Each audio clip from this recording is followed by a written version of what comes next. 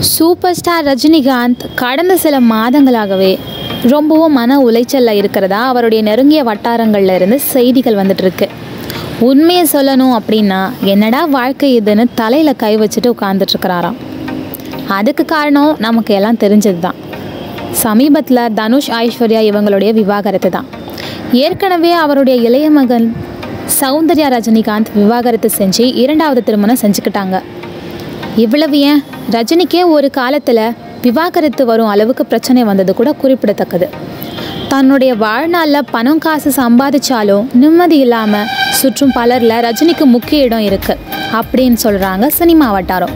இன்னைக்கு தேதிக்கு அவருடைய வயசில் இருக்கும் நடிகர்கள் பலரும் சினிமாவை விட்டு காணாமல் போயிருக்காங்க.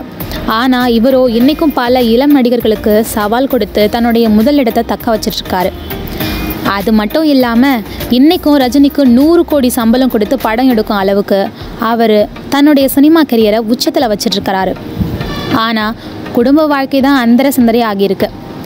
ஏற்கனவே இளைய மகளுடைய விவாகரத்தை தாங்க முடியாமல் இருந்த ரஜினிக்கு மூத்த மகளுடைய விவாகரத்தும் பெரிய பாதிப்பை ஏற்படுத்தியிருக்கு. இது குறித்து இருவர்கிட்டையும் சமாதானம் பேசியும் எதுவும் வேலைக்கு ஆகலை அப்படின்னு ரஜினி செம அப்செட்டில் இருக்காராம். அது மட்டும் இல்லாமல் தன்னுடைய நட்பு வட்டாரங்களை அழைச்சி எவ்வளவு காசு பணம் சம்பாதிச்சு என்ன பண்ணுறது ஒரு நாள் கூட நிம்மதி இல்லை அப்படின்னு கண்ணீர் வடிச்சிருக்காராம்.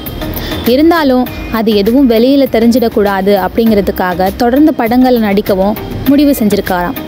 குடும்ப வாழ்க்கை தான் இப்படி. சினிமா வாழ்க்கையாவது நல்லா இருக்கட்டும் அப்படின்னு முடிவு செஞ்சுருக்காராம் ரஜினிகாந்த். விரைவிலேயே ரஜினிகாந்தோட அடுத்த படம் பற்றிய செய்தி வெளிவரும் அப்படின்னு எதிர்பார்க்கப்படுது.